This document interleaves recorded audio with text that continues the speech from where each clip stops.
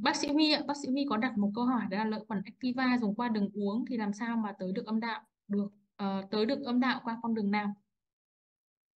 Uh, cảm ơn cái sự quan tâm của bác sĩ Huy dành cho cái sản phẩm Activa, một sản phẩm mà thuộc nhóm uh, sản phụ khoa của Viking và vừa rồi thì em cũng vừa gửi tới uh, quý anh chị một vài cái thông tin. thì uh, về việc cái bổ sung lợi khuẩn đường uống và làm sao mà tới được âm đạo qua cái con đường nào ấy,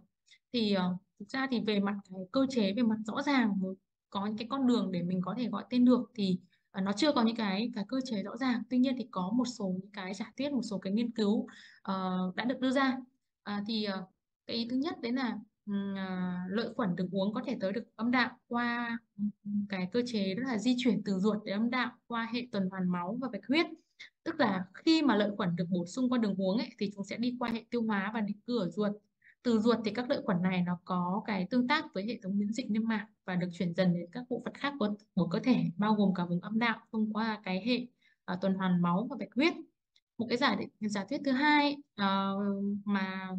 đã được nghiên cứu và người ta cũng cũng đưa ra đó là uh, cái lợi khuẩn này nó sẽ di chuyển qua đường tiêu hóa trực tràng và âm đạo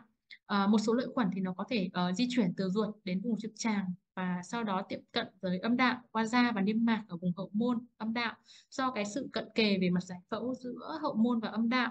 uh, lợi khuẩn thì cũng có thể dễ dàng di chuyển từ âm đạo và tới uh, di chuyển và tới định cư ở đây. Còn một cái giải thuyết số 3 nữa là nó sẽ tác động gián tiếp uh, qua cái sự thay đổi về môi trường vi sinh tức là khi mà lợi khuẩn uh, trong ruột được tăng cường ấy, thì chúng có thể sản sinh và ảnh hưởng đến toàn bộ hệ vi sinh của cơ thể bao gồm cả hệ vi sinh tự tại âm đạo.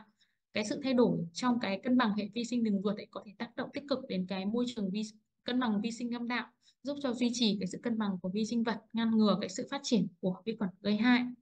À, và một cái giải thích cuối cùng đấy là nó sẽ à, cái lợi khuẩn được sử dụng đường uống nó sẽ tác động lên toàn hệ thống miễn dịch của cơ thể